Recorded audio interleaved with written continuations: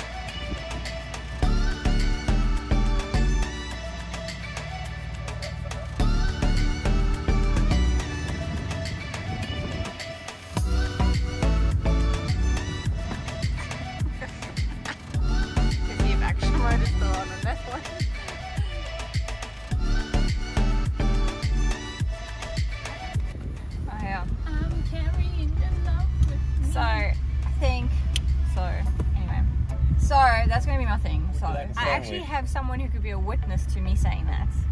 Every single time I start a sentence, I would say so, and I have a witness because every time I said it, he would be like, "Stop saying so," and then he Who's would be, move. every time I said so, he's like, "So." I'm like, "Stop it." Okay, so this is Janine's first Oh man. time driving on the beach. Yeah. Literally. I'm not allowed to drive on the beach, but I'm meaning like back years and years ago on the farm or something like that. I can't remember before we even experiencing this. So. And we were lucky enough to drive. We, we, we were allowed to. Canada, we used to go to Canada Rocks and take the old Ford Cortina 3 V6 out on the beach, rear wheel drive. with Lots. Cortina. Yeah. Yeah. You should take That is Papa's, fine. Papa's, To you should take Papa's two wheel drive out and you hit the beach. We come off the sort of the access track at like freaking 100 k's an hour. So basically what I did around the corner to go into Genoa. Pretty much.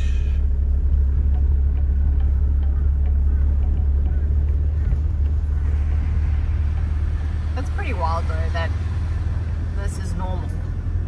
You know, for people that are living here and people that are driving here doing a beach drive, we're gonna come up to a traffic what's it speed limit sign. Yep. And Road road rules apply. Yeah, but it's actually it is. It's so funny how it's completely normal here. Um, You see by the beach how roasted it is. This is Yeah. the morning traffic.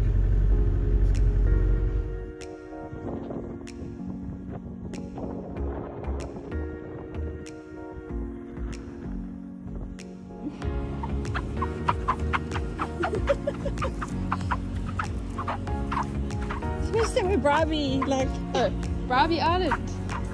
The place where your feet sound like ducks.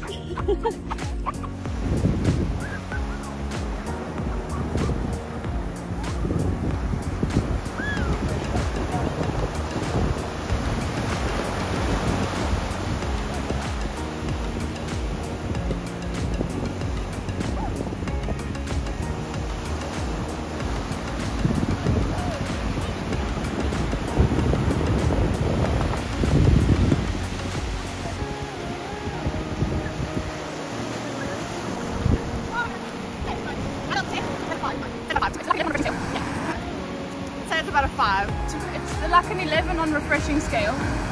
Yeah.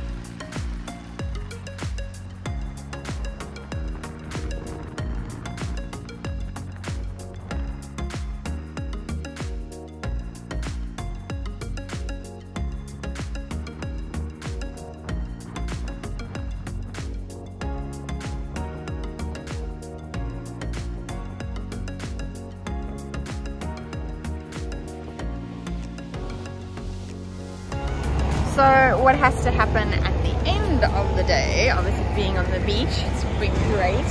People have had the wrong tire pressures, so they've got stuck. Uh, but now there's a whole bunch of people and everyone is now pumping up tires. Very entertaining actually. It's actually quite funny. When I first got exposed to the 4x4 world, I had no idea what these people were doing.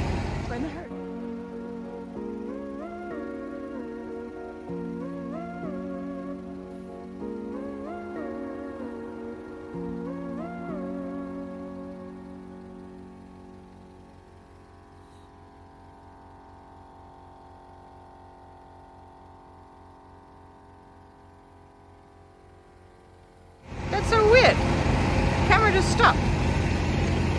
Anyway, I had no idea what people were doing and why they were doing tires and now look, today I'm learning about compressors and everything that they had to do and yeah, it's very entertaining. It's been a good day.